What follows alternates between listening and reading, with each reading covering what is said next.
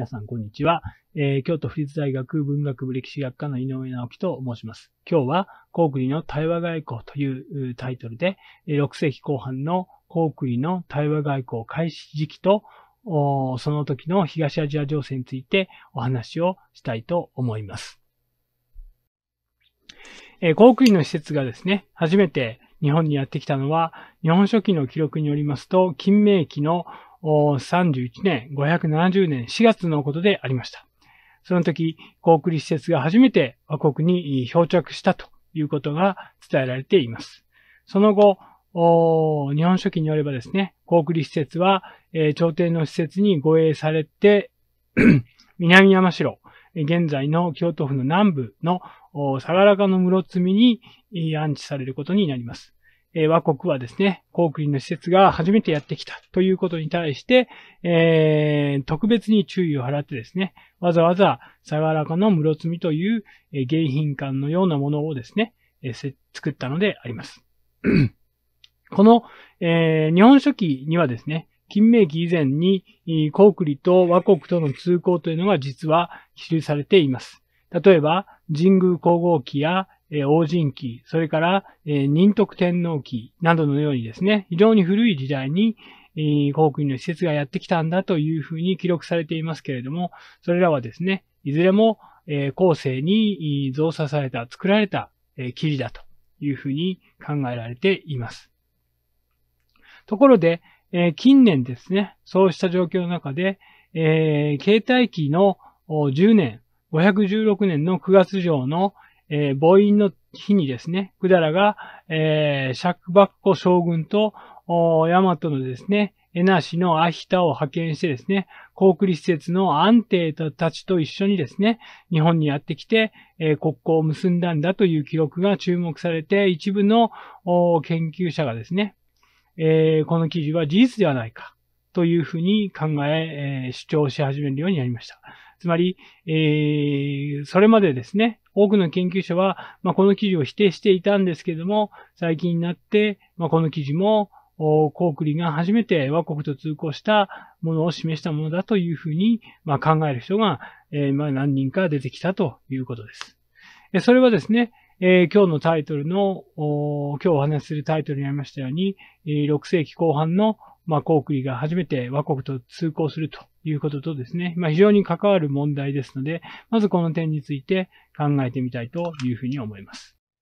この記事をですね、えー、コークリが初めて和国と国交を結んだというふうに考える人たちの中にはですね、まあ、その根拠としてですね、まあ、先ほどの記事の内容そのものもそうなんですけども、まあ、次のですね、領女百済伝の記事からですね、コークリと百済がですね、えー、それぞれ同盟していたのではないかというふうに想定した上で、ならば、えー、航空院が、まあ、百済を媒介することによってですね、和国と国交を結んだんじゃないかというふうに想定するものです。えー、その領女の記事は、えー、普通2年、521年に、百済王の頼流という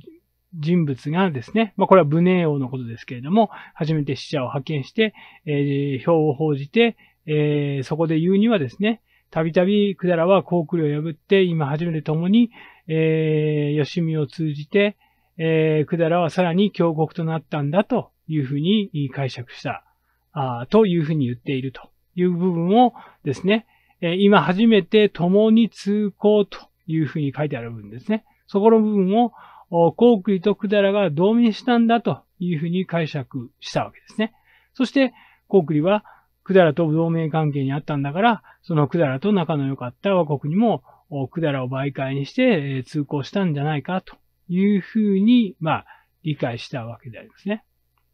えー、ところが、そのように解釈できるかということについての、まあ、反論があるわけですね。まず一つ目はですね、えー、この記事はですね、領女のこの記事はですね、今初めて吉見を通じたというふうに言ってるのは、これは何のことかというと、実は今初めて百済は領女に対して吉見を通じた、国交をまあ通じたんだというふうに解釈すべきなんですね。で、従ってこれは高栗と通行したということじゃなくて、領と通行したということなんですね。従って、えー、この記事からですね、高栗と百済が同盟関係にあったわけではありません。それゆえに、まあ、こうした同盟関係を前提にしてですね、高句麗と国との通行が、まあ、あったというふうには考えられない。そしてですね、もう一つの反論はですね、この、仮にですね、えー、先ほど見てきたように、携帯機の510年,、えー、年代にですね、国威が和国と通行していたというふうにするならばですね、その570年の金明期の記事にですね、えー、航空施設が初めてやってきたというふうな記録はですね、非常に初めて航空施設がやってきたので、いろいろや施設を派遣したとかですね、坂中の室津を作ったとか、いろんなことが非常に詳細に書いてある。にもかかわらず、この携帯の記事についてはですね、何も書いてないんですね。その周辺のことは。ま、そういったことを考えるとですね、えー、これが本当にこの時にやってきたかという根拠になるかどうかは、まあ、疑問が残るところなのであります。それに加えてですね、570年の金明期の4月上にはですね、まあ、航空施設が初めて、えー、越の岸に到達したまあ、漢文では初めて腰の騎士に至るというふうに、まあ、初めて至ったんだというふうに書いてるわけですね。ということは、それ以前に、つまり金明期の記録以前にですね、航空施設が、まあ、腰の国騎士に、まあ、やってくるということは、まあ、なかったんだということが、まあ、伝えられているわけですね。そうすると、この金明期の記録はですね、まあ、携帯機の記録を、まあ、まるで無視しているような、つまり、510年以前に、510年頃にですね、まあ、570年よりも以前に、えー、航空施設が来たということは認識していない。ということですね。ということから考えるとですね、まあ、この二つのことから考えますと、この携帯機にですね、えー、近年この航空機が初めて和国とし、えー、施設を派遣して、えー、国交を結んだんだという記録はですね、えー、認めるべきだという解釈はですね、え納得できなく、え承認できない。つまり、この携帯機の記事はですね、後々の時代に、ま作られた他の神宮機とか王神機と同じようにですね、後々の時代に作られた記録であったと。つまり、えー、そう考えるとですね、航空が和国との外交を始め、開始したのはですね、やはり金明期の31年、つまり570年、航空の王では平原王12年の頃からであったということが、まあ、わかるわけですね。そこでは、そこで問題になるのはですね、なぜコークリが570年にこれまで敵対関係にあった和国にですね、突如として死者を派遣するようになったのか、ということなんですね。えー、それ以前のですね、コークリと和国の関係ですね。コークリは、公海道比にですね、和国をですね、コークリに敵対する勢力である。というふうに、まあ、認識にしてですね、公海道比にはですね、和光とかですね、和族というふうに和国を書いていてですね、それから人の道から外れた者どもであるというふうにも記録しているわけですね。まあ、非常に、だから敵対している国として、えー、まあ、認識しているわけですね。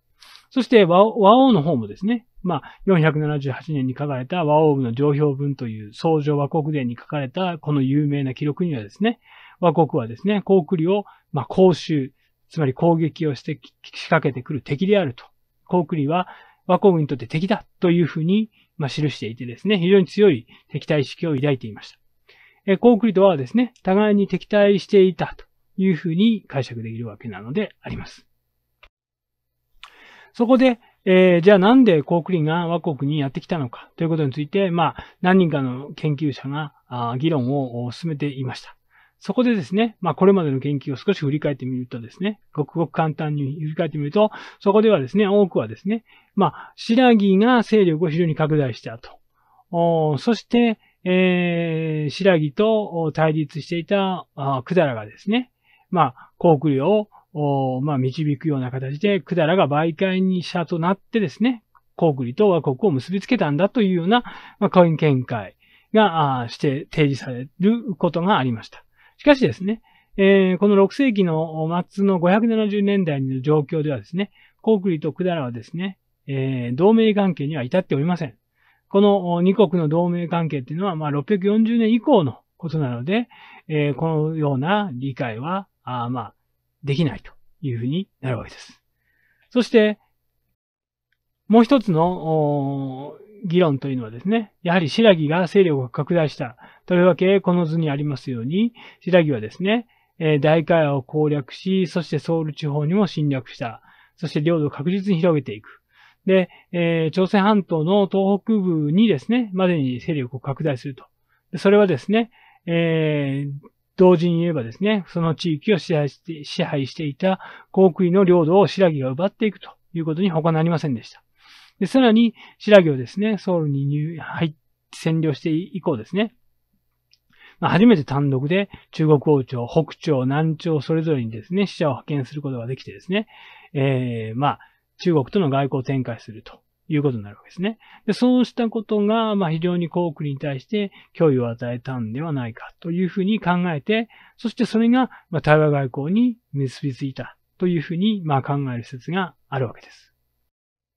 でところが、このもん、これらの研究についても問題があります。えー、まず第一番目ですね。まあ、白木との対立ということを前提に、まあ、それ自体は問題ないのですが、まあ、例えば白木との対立を前提に和国との外交が開かれたというふうにあるんであればですね、このコークリと白木の対立というのはその後も続いていましたので、これはコークリと和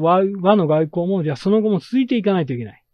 しかし実際はですね、570年にコークリが他の和対和国との外交を開始したのしたのはですね、数年で一度終わっています。そして約20年の断絶期間を経て、もう一度6世紀の最末期にですね、始まって、その後滅亡まで続いていくという形になるわけですね。ですから、白木との外交関係、あるいは敵対関係だけを前提に話をするとですね、で、なんでその後亡くなるんだということが説明、うまく説明できないということになります。そして2番目の問題はですね、これが一番大きな問題ですけれども、これはコークリの観点から、まあ、どうも解釈されていないんじゃないか。つまり、えー、まあ、白木がどうだ、百済がどうだ、和国がどうだという解釈からやられているわけですね。しかし、コークリの、コークリ自身が和和との関係を、まあ、も、求めたということになった場合にですね、それの理由を探る場合にはですね、おそあの、その当時のコークリが実態どういう状況にあったのか。ということをまず考える必要があります。そこで、まあ、今までの研究で一番大きく欠けていたのはですね、コークリが、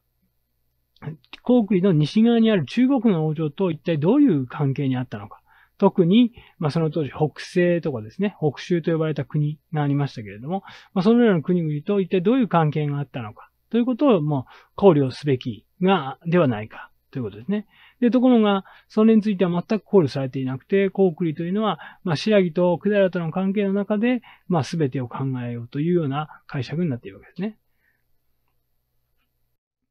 しかしですね、えー、コークリにとってですね、その、朝鮮半島南部のクダラとの白木と関係と同じように、あるいはそれ以上にですね、えー、その西側で直接領土を接する中国王朝との関係は非常に重要でありました。例えば、これよりも前にですね、中国の南北朝時代にはですね、コークリは北義との非常に安定的な外交を模索してですね、えー、死者を頻繁に派遣をしています。そして西側の中国王朝との関係が安泰になった段階でですね、コークリは、あ朝鮮半島南部への進出を強めていって、まあ、最大半島を、えー、築いていくというようなことがあるわけですね。したがってですね、まあ、コークリとその西側の中国王朝との関係っていうのはですね、えコークリの、ま歴史を考える上でですね、ま非常に重要な要素になってくるわけですね。従ってですね、まあ、コークリが初めて今までずっと敵対していた和国に対してですね、死者を派遣して、そして、えー、和国との外交を開始するということのもですね、その原因を探るにおいてもですね、えー、この中国王朝との関係も踏まえ、そして朝鮮王朝との関係、朝鮮王朝の白木下るとの関係も踏まえ、まあ、当時のですね、航空を取り巻く情勢とをですね、まあ、非常に大きな視点、東アジアの視点からですね、総合的に、まあ、解釈することが、まあ、求められることになるわけです。そこで、えー、次に、も航空の西側の諸国との関係についても考えてみたいというふうに思います。でこれが、え当時の東アジアの関係図になりますけれども、航空国の西側には北西という国があって、そして、えー、南朝にはですね、陳という王朝がありました。朝鮮半島には当然白木と百済があったわけですね。まあ、こういう状況になるわけです。で、えー、この当時のですね、航空の外交を考える上でですね、まあ、少し前の航空の陽元王という王様の時代の航空の状況からまず考えてみたいと思います。えー、航空はですね、えー、陽元王の時代にですね、中国の西側ではですね、河北を統一していた北魏が534年にですね、えー、東義と正義に分裂します。そしてやがてこの東義と正義はですね、北州、北西という形になっていき、やがて北州から出てきた隋がですね、中国王朝、河北を統一して、そして南朝も統一するというのが、中国史の流れになっていきます。で、えー、航空はですね、それら少女との、まあ、関係も築いていくわけですけども、そこをもう少し詳しく見ていきたいと思います。えー、この陽元王ですね、の時が、舞台がですね、えー、545年に即位するわけですけれども、まあ、あこの時にですね、え日本書紀の記録にはですね、まあ、金明期の6年、それから翌年の7年の546年上のこの年上にはですね、次のように言ってるわけですね。安元王という病王様が病気で倒されると、王位をめぐってですね、高栗国内で次の王をめぐってですね、大きな反乱、あの、争いが起きたと。そこで2000人以上が殺されて、その渦中で、まあ、安元王が死んでしまった。そして、8歳の陽元王という王様が即位したんだということが伝えているわけですね。で、これはですね、まあ、高栗国内で当時、王位をめぐってですね、非常に大きな争いが起きたということを伝えているわけです。そして、新たに即した陽元王は外交安定を模索する必要があったわけですね。まあ、王権が同意をしてますから。そこで、え、西側の、航空の西側にあった東義とですね、非常に有効政策を推進することになります。そして、えー、そのためにですね、航空は、東義が滅亡するまでの間ですね、毎年施設を派遣しているわけですね。まあ、それに対して、中国の南朝に対しては一度も施設を派遣していないということになるわけで、えー、そこにですね、まあ、航空の、まあ、積極的な、あ対西方外交、つまり対東義外交が、まあ、認められてですね、航空は、まあ、安定を目指してですね、討議に接近していったことがわかります。で、えー、これはですね、先ほど言いましたように、大乱によって王権が、まあ、弱化してしまった。そして、百済と白木とも戦わなければいけない。という状況の中で、まあ、直接国交を、国境を接していた、まあ、東側の討議、東側にじゃなく、ではなくて、西側にあったですね、えー、討議との安定した関係が、まあ、求められたからであるということになるわけですね。一方で南朝との外交がなかったというふうに申し上げましたけれども、まあこの時は領という国でしたけれども、まあ後継の乱というね、北西からあ裏切って、え領にやってきた後継という武将があ反乱を起こしてですね、え領は非常に混乱していました。ということで、えー、そこにはまあ、ですから国威としては外交的に頼みにならない。そこで、えー、同盟して討議を牽制するということができませんので、むしろ、えー、討議と仲良くしようということをやるわけですね。まあ、そうしたことがあって、航空の大量外交が低調したということもある、ありますし、量がダメなので、じゃあ実際に、え、討議と仲良くしましょうということで、外交が促進されたということが、まあ、理由の一つにも挙げられます。で、そこ、その後、やがて、えー、闘技はですね、滅亡いたしまして、えー、紅葉が即位して、まあ、北西が建国されることになります。で、高栗はですね、それまで一生懸命、闘技との外交を推進していましたけれども、今回も北西が建国されてもですね、相変わらず一生懸命施設を派遣していました。つまり、えー、対闘技に、代のですね、有効政策をそのまま維持して、対北西を重視するという政策を取ります。ところが、わずか3年後のですね、553年以降ですね、こうした外交が変化してしまいます。つまり、今までほぼ毎年、えー、中国の王朝に施設を派遣していた航空医がですね、突如として、えー、これをやめるわけですね。全くなくなったわけじゃないんですけども、限りなく少なくなってしまった。そして大幅に減少してしまったんですね。で、これはなぜそういうことが起きてしまったのかということが、まあ問題になるわけですね。えー、これがですね、えー、当時のコークリと、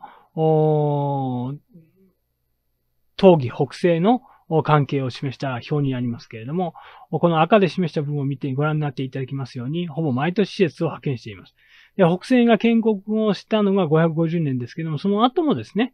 最初の550年、501年とですね、えー、国や北西に連続して死者を派遣していますから、密接な関係だったんですけども、その後ですね、外交が非常に少なくなっていきます。まあ、その問題になっていくのが、まあ、553年のこの記録に出てくるものになるわけです。で、その後ですね、施設の派遣は非常に少なくなって555年のみということになるわけです。で、えー、この当時のコークリと北緯との外北西との関係ですね、あるいは東義との関係の外交を成立すると、え、まあ、東義に対しては毎年送っていると。それに対して、え、非常に少なくなっていくということが、まあ、読み取れるわけであります。で、え、それがですね、例えばその次の、まあ、平原王という王様の代になっても変わるわけで、え、このようにですね、非常に564年、565年というふうにわずかに少なくなっているわけですね。え、その後、まあ、570年に和国との、今日お話しするように、和国との外交が通行するということになります。まあ、このようなことを、一度、表で踏まえておいてですね、具体的に説明したいと思います。えー、コクリと北西の関係が、悪化したというふうに申し上げましたけれども、その原因は一体じゃあ何なのかということなんですが、非常に興味深い記述記録がですね、まあ、北市のコークリに記されています。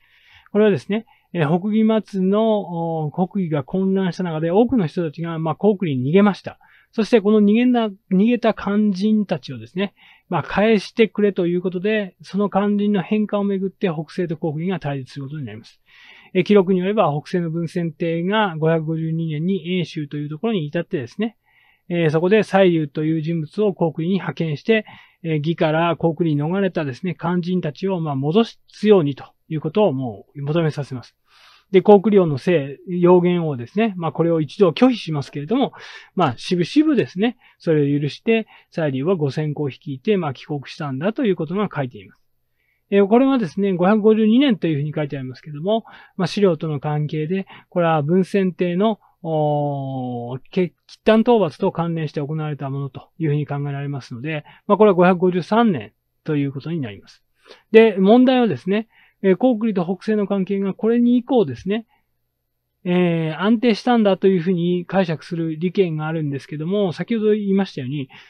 この事件が起こって以降ですね、えー、コークリと北西の兆候がですね、非常に減るわけですね。激減したわけですね。そうすると、まあ必ずしもその両国の関係が順調だったというふうには解釈できないですね。むしろ、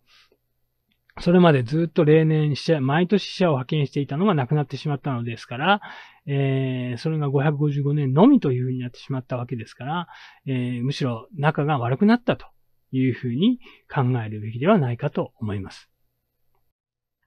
で、これはですね、先ほども見たように、550年代のコークリと北西との関係ですけども、560年たった一度あるだけ。それから565年に一度。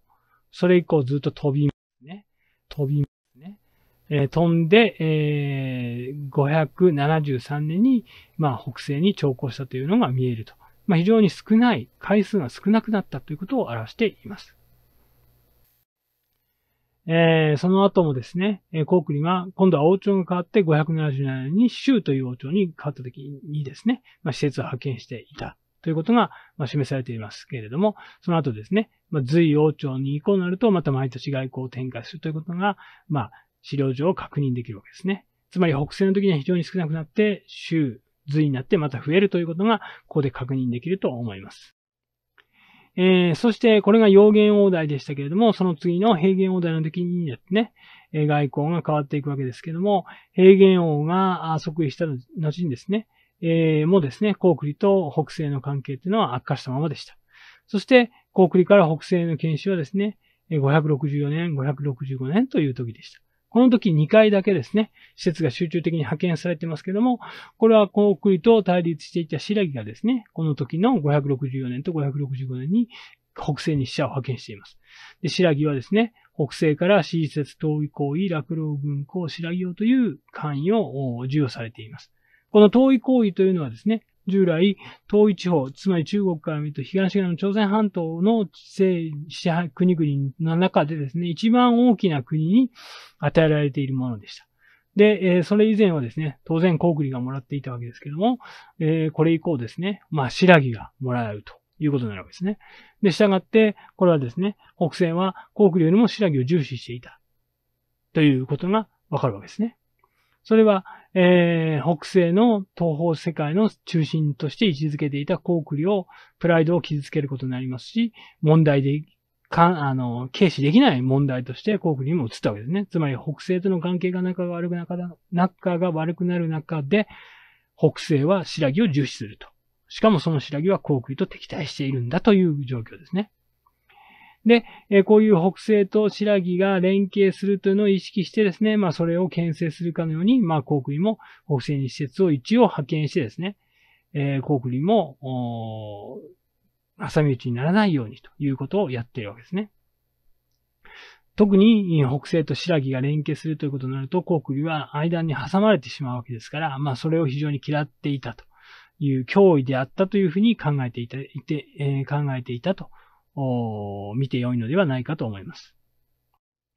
そして、え一方で、今までですね、外交の中は南朝、陳に対して外交します。この平原王はですね、即2年目、えー、まあ、すぐにですね、死者を派遣するわけですね。コークリはその父親の予言王の時には、えー、死者を派遣してませんから、積極的に南朝を外交を進めたということがわかるわけですね。まあそれはどうしてもやっぱり北西との関係が悪化していたからだということがまあ考えられるわけですね。で、さらに白木がですね、やっぱり、えー、北西から感触授与されていて、白木との北西の連携が強まった。それに対抗しようということがあると。で、そして、えー、まあ、チンとの外連携を強めるということになるわけですね。えー、つまり、コークリは、まあ、超高回数が激減した北西とのですね、関係をですね、えー、脅威を抱き続けていたということがわかるわけです。で、その中で、まあ、白木の領土がですね、568年頃までに、高栗領であった、え、朝鮮半島の東北東部までですね、進出をしてですね、高栗を圧迫すると。で、高栗は大きく後退をせざるを得ない状況になっていました。そうした状況の中で、河北情勢も変わっていきます。この頃の9月、この年の9月でね、えー、北西、北州がですね、北州と和睦いたします。つまり、航空が敵対していた北州はですね、北西はですね、その隣の北州と和睦します。で、えー、その後、569年の11月に、北州と北西が、まあ、再び戦闘を開始するようになって、両国は対立するんですけども、570年、571年の戦闘ではですね、北西の軍が北州を撃破して優位に立っていくという状況が続いていたわけであります。つまりですね、えー、河北ではですね、北西と北州がそれぞれ対立していましたけれども、560年代の後半から570年代の初めの頃までですね、航空が非常に緊張関係にあって警戒していた北西の方が、この両国の争いでは優位に展開していたとわけですね。そして、白木はですね、えー、航空と敵対する白木は、陳にも南朝にも施設を派遣していました。この頃、568年ですね。白木が陳に施設を派遣していました。つまり、航空の西方では北西が優位に展開し、南方で白木と対立するということになって、航空は西側と南で対立することになっていったわけですね。で、さらに、白木がですね、まあ、航空が関係を結べていたチンとの関係を結ぶということによってですね、コークリの周りはですね、えー、非常に、白木との関係を結べ、結んだりですね、まあ、敵、コークリと敵対するということになってですね、コークリは外交的に非常に苦しくなり、孤立になります。で、こうした状況下において、コークリを出発したであろう、まあ、和国との、和国に派遣された施設がですね、まあ、570年にちょうど和国に到達することになるわけですね。つまり、コークリが和国との外交を開始したというのは、北西白木との対立というコークリを取り巻く非常に厳しい状況とですね、無関係ではなくてですね、それを打開しようとして、まあ、取られた措置だというふうに考えられるわけですね。えー、コークリは和国との連携をすることによってですね、その南側の白木になんとか圧力を与える、軍事的圧力を与えようということを計画していたわけですね。そして、えー、まあ、コークリと白木との対立はもともとあった上に、まあ、568年の、まあ、白木の入庁と、陳への入庁ということで、まあ、あこれがですね、まあだから、対話外交を進めていく上で、あるいは理解する上で非常に重要な要素だったのは間違いないことになります。それに加えて重要なものがもう一つあったわけですね。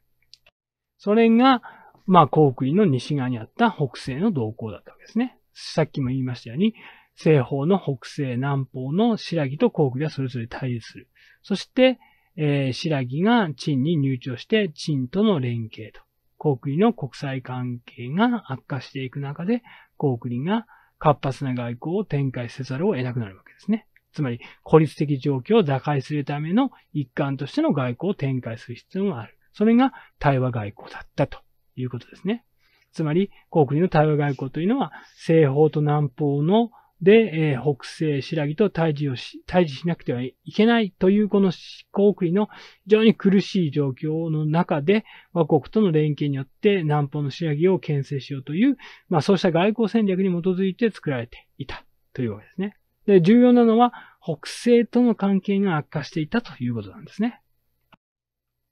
そしてこれが当時の図になります。高国が北西と対立。そして、えー、白木はですね、当然高国と対立の中で和国に対して高国が、えー、手を向けると。えー、通外交を開始するということを表した図になります。で、えー、航空と和国との交渉がこうして、えー、570年に始まりました。で、えー、570年に航空施設が腰の国、まあ、日本の北陸ですね、現在の、えー、金沢とかですね、能登半島の方に漂着したらしいことが分かりました。これが、航空の対話外交の開始になります。で、573年に2回目の航空施設がすでに到着しています。これは日本書紀の微脱記に書かれております。ですから、まあ、1回目の施設がですね、帰国した早々に、まあ、570年に来てますから、まあ、その後帰ったのが、まあ、571年とか2年。その後また送ってきたので、573人来てますので、まあ、帰ったと同時にか、それから少し置いて、まあ、第2回目施設派遣が決定して、573年に来たようだということがわかるわけですね。まあ、その間、相変わらず北西との関係は強まっていく、悪化していく状況ですし、白木がですね、北西に長行して、いるというような状況で、まあ、国は外交的に孤立していくわけですね。そしてその脅威が高まってますので、えー、和国との関係を重視しようということで、まあ、早々と第2回目の施設を派遣したということになるわけです。そして、えー、対話外交の促進、そしてそこから外交孤立への脱却というのを、まあ、航空は図ったと考えられるわけであります。ところが、第2回目の施設は日本書紀の微脱記によりますと、航空の施設が乗った船はですね、壊れてですね、まあ、多くの人が亡くなってしまったという風になってですね、まあ、ナンパしたわけですね。え、この当時、え、北朝鮮の地域の北部ですね、そこから、え、日本に、まあ、日本から渡っていくというのは非常に困難だったようでありまして、えー、日本の朝廷はですね、またしても漂着したことに、まあ、非常に不信感を持ってですね、まあ、接待せずに追い返してしまったと。で、そこで、えー、キビの天の値の何はという人物をですね、まあ、航空施設を護衛して一緒に送らせるという創始として、えー、航空施設に帰国させることになります。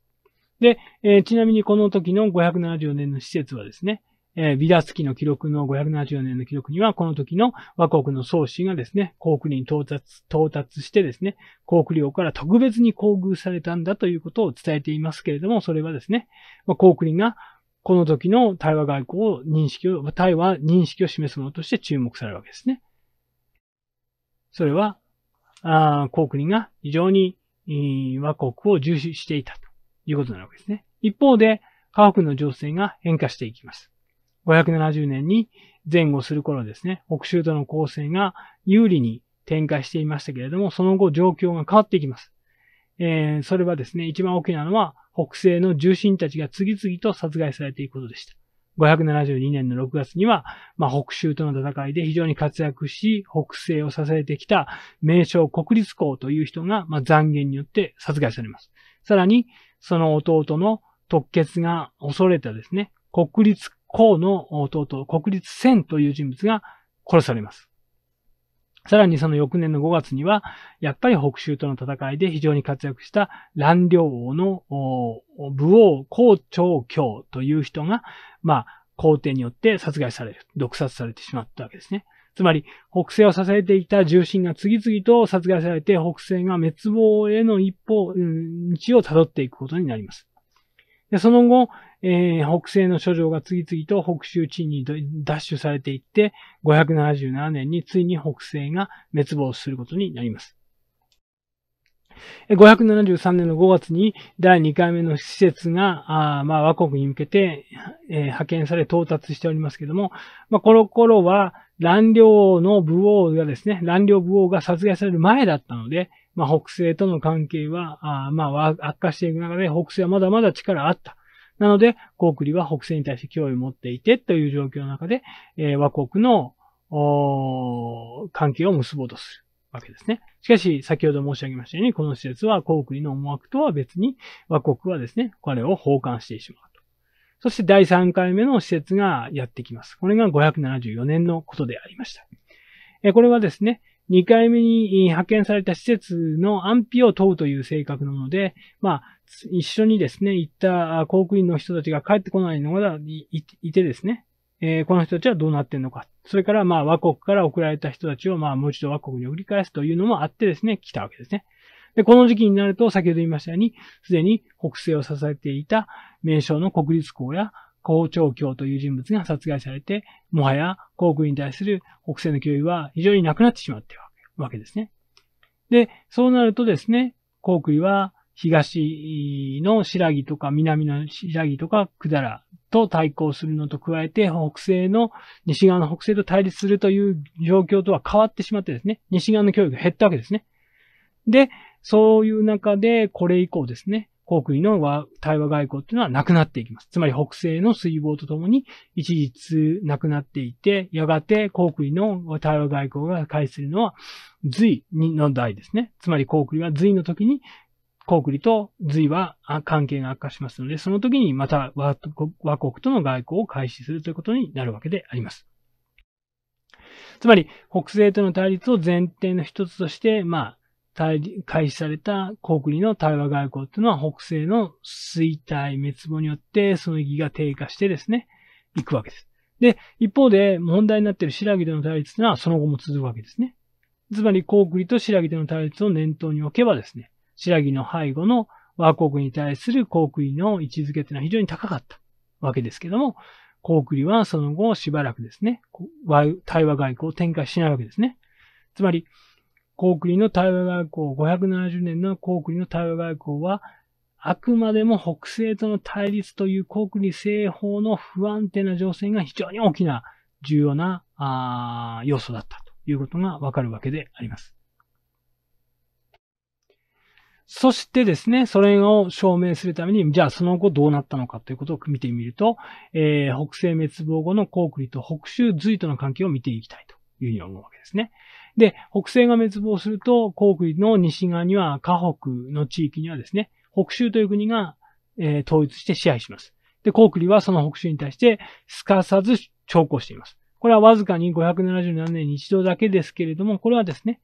えー、兆候が少ないのはですね、北州がその後滅亡してしまうからなんですね。しかし、この時の兆候っていうのは北州が河北を統一して、わずか、ね、えー、その年に行ってるわけですから、非常に重視していたということですね。北西滅亡するや否や、今まで北西には死者を発見していなかったのに、北西に変わった北州にはすぐに施設を派遣して外交関係を結ぶということですね。つまり、航空は北州との関係、つまり西側を非常に重視していたということを示しているわけです。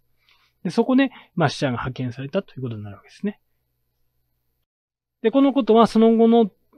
隋との関係の中でも見出せます。隋は581年に北州に代わって河北に君臨することになります。で、航空はこの581年からほぼ毎年ですね、隋に施設を派遣します。先ほどの表にも現れていたように毎年施設を派遣している。そしてそれは年数回にも及ぶことになりました。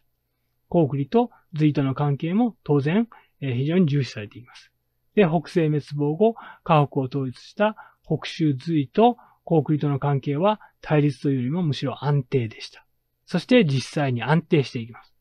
つまり、高句麗の対北州隋関係が安定しているということに対応して、この時期の対話外交っていうのがなくなっているわけですね。で、高句麗の対話外交が再開するのは、あくまでも隋との関係が悪化した後だということですね。つまり、570年代の航空の対話外交というのは、航空と北朝との関係ということと、まあ、非常に密接に関わっていると。つまり、まあ、白木との対立というのも大前提にあるんですけれども、まあ、北朝特に航空と北西との関係が極めて大きな影響を及ぼして、対話外交が開始されたということがわかるわけであります。で、570年の航空の対話外交は、まあ、航空を取り巻く非常に厳しい外交の中で展開していたと。決して偶発的に展開したわけじゃないということですね。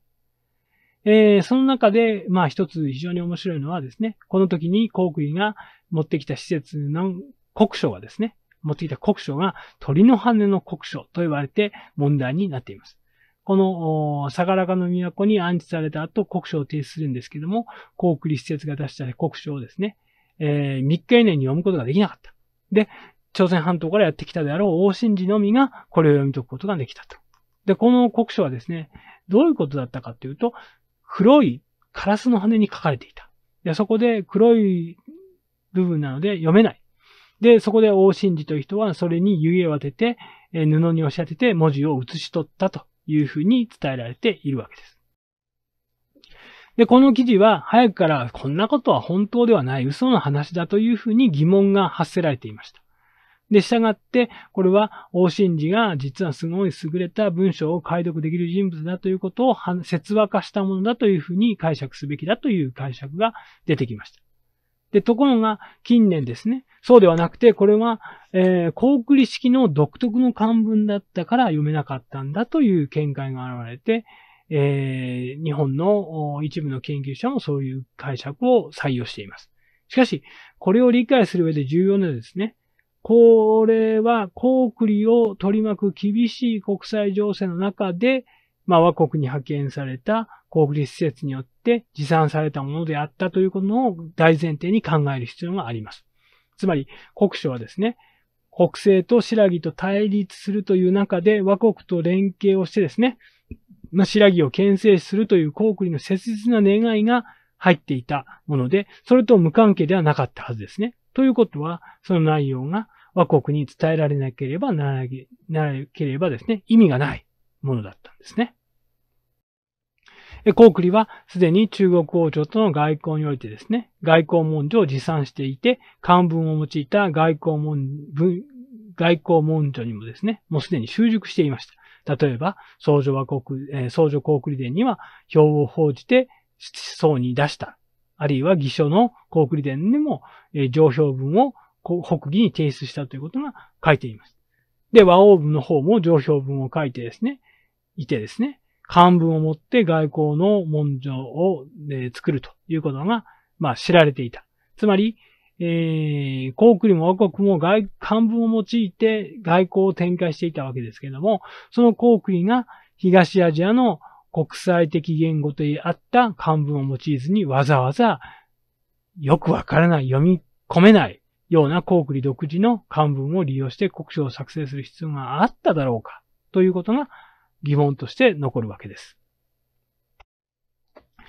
つまり、カラスの羽に国書がしためられた、作成されたということも同じように問題だったわけですね。つまり、航空の対話外交というのは航空の切実な問題と一緒に考えると、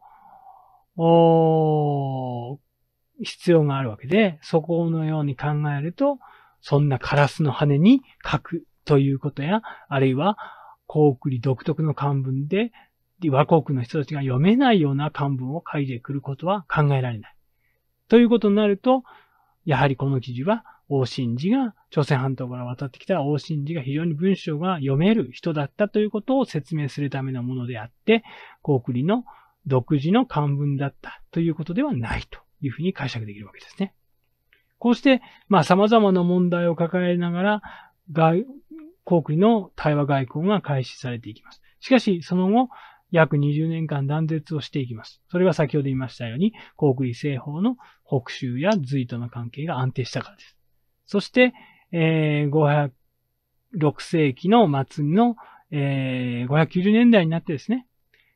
航空が約20年後に対話外交を開始します。その中で、まあ、エジというお坊さんがやってくるわけですね。